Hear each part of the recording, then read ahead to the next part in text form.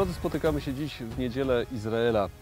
Chciałbym zaprosić Was na podróż właśnie do tego pięknego państwa, rozpoczynając słowami Psalmu 122. Ucieszyłem się, gdy mi powiedziano: Pójdziemy do domu Pana. Właśnie stanęły nasze stopy w Twoich bramach, Jerozolimo. O Jerozolimo, zbudowano jak miasto stanowiące zwartą całość. Do Ciebie pielgrzymują plemiona, plemiona Pana, zgodnie z prawem Izraela, by chwalić imię Pana. Tam bowiem stoją trony sędziowskie, trony domu Dawida. Proście o pokój dla Jerozolimy. Niech żyją w spokoju ci, którzy Cię miłują. Niech pokój będzie w Twoich murach, dobrobyt w Twoich pałacach.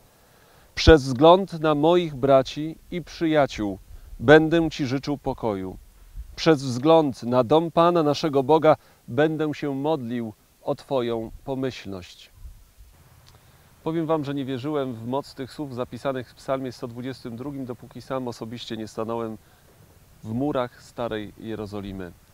Gdy przychodzimy pod ścianę zachodnią, jedyną ścianę, która pozostała po starej świątyni, świątyni izraelskiej, i widzimy tam modlących się Izraelitów, wtedy w naszym sercu powstają niesamowite emocje i uczucia. To miejsce jest szczególne, bo jest miejscem wybranym przez Boga. To już w, drugiej księdze kronik Pan Bóg powiedział: Lecz ja wybrałem Jerozolimę, aby tam przebywało moje imię, i wybrałem Dawida, żeby był nad moim ludem Izraela. A w Psalmie 128 czytamy: Niech Pan błogosławi ci z Syjonu, abyś oglądał szczęście Jerozolimy przez wszystkie dni swojego życia, abyś oglądał dzieci swoich synów. Pokój Izraelowi. Mamy się modlić jako chrześcijanie o pokój dla Izraela, a przede wszystkim o pokój dla Jerozolimy, bo jest to miejsce wybrane, miejsce szczególne, miejsce uświęcone przez Boga, przez Jezusa Chrystusa, ale też i działanie Ducha Świętego.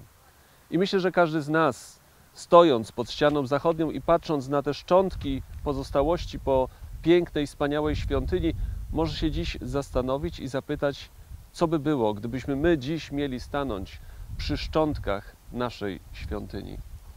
Gdybyśmy mieli tylko namiastkę wielkości i piękności tego, co było wcześniej. Stoimy teraz przed kościołem ewangelickim w Golasowicach, który po II wojnie światowej właśnie był totalnie zniszczony. Leżał w gruzach, ale został odbudowany dzięki niesamowitej mobilizacji i pomocy wielu zaangażowanych z płonącymi sercami ludzi. Dziś mamy się modlić o pokój dla Jerozolimy, o pokój dla tamtego miejsca, aby Pan Bóg błogosławił poprzez Izrael również nam wszystkim. Mamy nie zapominać o tym, co wydarzyło się w czasie II wojny światowej, o Holokauście, o eksterminacji narodu izraelskiego i mamy patrzeć na ten pięknie odbudowany i kwitnący, rozwijający się kraj, który Bóg nadal błogosławi przez już 71 lat.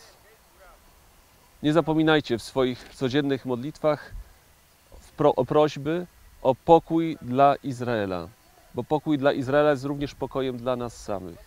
Nie zapominajcie modlić się o te święte i wybrane miejsce przez Boga, bo jest ono szczególne również dla nas wszystkich. Zachęcam Was, jeśli pozwolą Wam na to środki i możliwości, abyście kiedyś w swoim życiu odwiedzili to miejsce. A prorok Izajasz mówi: Pocieszajcie, pocieszajcie mój lud. Przemawiajcie do serca Jerozolimy i wołajcie do niej.